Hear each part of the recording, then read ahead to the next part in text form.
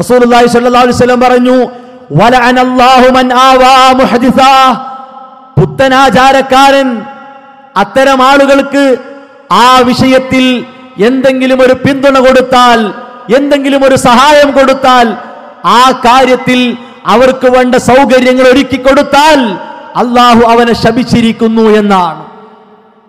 വിദാത്തിന് ഒരു നാണയം കൊടുക്കാൻ പാടില്ല. ഒരു കസേര ഇട്ട് കൊടുക്കാൻ പാടില്ല. നമ്മുടെ വീടിന്റെ വരാന്ത ഒരുക്കി കൊടുക്കാൻ പാടില്ല. നമ്മുടെ വീടിന്റെ മുറ്റം അതിന് നിങ്ങൾ എന്ത് വേണമെങ്കിലും ചെയ്തോളൂ. ഞാനും കുട്ടികളും ഉണ്ടാവുകയില്ല. അത് പറയാൻ പറ്റൂല. അത്തരം സ്വഭാവങ്ങളെ കൊണ്ടു നടക്കുന്ന ആളുകളെ ആ വിഷയത്തിൽ വെറുക്കാൻ നമുക്ക് സാധിക്കണം. അത് വ്യക്തിപരമായ വെറുപ്പല്ല. കുടുംബപരമായ വെറുപ്പല്ല. അവർക്ക് വേണ്ട മറ്റു നന്മകൾ ചെയ്തു കൊടുക്കാതിരിക്കലല്ല.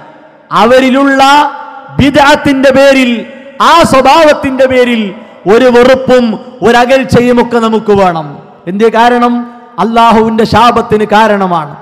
മഹാനായ ഇബിൻ ഉമർ അള്ളാഹു എന്ന് പറഞ്ഞ ഒരു വാക്ക് നബി പഠിപ്പിച്ചതാണ് എല്ലാ പുത്തനാചാരങ്ങളും വഴികേടാണ്. ആ വഴികേടിനെ ജനങ്ങൾ എത്ര നല്ലതായി കണ്ടാലും.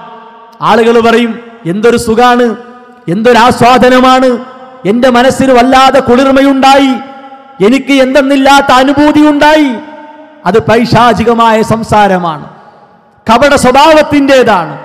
നബിചര്യയെ അവഗണിച്ച് പുത്തനാചാരങ്ങളുടെ പിന്നാലെ കൊതിമൂത്തോടിയപ്പോൾ പിശാചവന്റെ മനസ്സിലിട്ട് കൊടുത്ത ഒരു താൽക്കാലിക സുഖമാണ്. ആ സുഖത്തിന്റെ പിന്നാലെ ഓടുന്ന പായുന്ന അവസ്ഥയുണ്ടായാൽ സഹോദരങ്ങളെ നരകത്തിലേക്കുള്ള വഴിയാണ് അവിടെ ഒരുങ്ങുന്നത് എന്ന പേടി നമുക്കും നമ്മുടെ കുടുംബത്തിനും എപ്പോഴും ഉണ്ടായിരിക്കണം.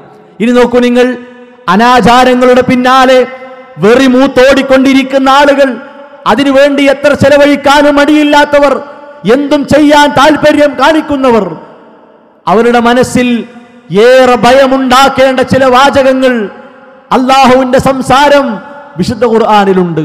അത് ആദ്യം നമ്മുടെ മനസ്സിൽ ഉറച്ചു നിൽക്കണം. മറ്റുള്ളവരെ മനസ്സിനെ കൊണ്ടുവരികയല്ല. എന്റെ ജീവിതത്തിൽ ഇത്തരത്തിലുള്ള വല്ല കാര്യങ്ങളും സംഭവിക്കുന്നുണ്ടോ? എനിക്ക് എപ്പോഴെങ്കിലും അത്തരം കാര്യങ്ങളിലേക്ക് മനസ്സ് പോകുന്ന അവസ്ഥയുണ്ടായിട്ടുണ്ടോ? എപ്പോഴെങ്കിലും തോന്നിയിട്ടുണ്ടോ? എന്താണ് അതിന് കുഴപ്പം? അങ്ങനെ ഒരു ചിന്ത വന്നിട്ടുണ്ടെങ്കിൽ അള്ളാഹു നമ്മളെ ഉണർത്തുന്നു. പുൽപ്രവാചകരെ പറയുക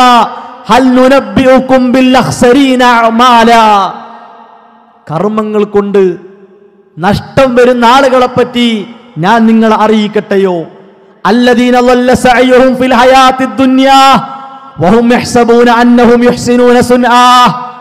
ഒരുപാട് ചെയ്ത ആളുകളാണ്. അവർ വിചാരിച്ചു ഈ ചെയ്തു കൂട്ടിയ കാര്യങ്ങളൊക്കെ നല്ല നല്ല കാര്യങ്ങളാണ്. ഞാൻ പരലോകത്തെത്തുമ്പോൾ ഇതൊക്കെ എനിക്ക് വലിയ സമ്പാദ്യമായി വലിയ മുതൽക്കൂട്ടായി വലിയ തണലായി എന്റെ കൂടെ ഉണ്ടാകും എന്ന വിചാരം അവർക്കുണ്ടായിരുന്നു.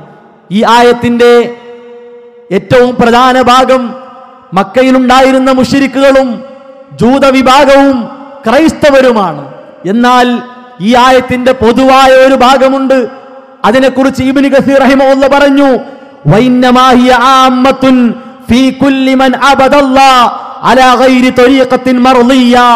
അല്ല ഇഷ്ടപ്പെടാത്ത വഴിയിലൂടെ അല്ല സ്വീകരിക്കാത്ത വഴിയിലൂടെ അള്ളാഹുവിനെ ആരാധിക്കുന്ന എല്ലാവർക്കും ഈ ആയത്ത് ബാധകമാണ്. അവൻ വിചാരിക്കുന്നത് അന്നഹു മുസീബുൻ ഫീഹ. അവൻ ചെയ്യുന്ന പ്രവൃത്തിയിൽ അവന് കൂലിയുണ്ടെന്നാണ്. അവന്റെ കർമ്മം സ്വീകരിക്കപ്പെടുമെന്നാണ്. അവൻ തെറ്റുകാരനാണ്.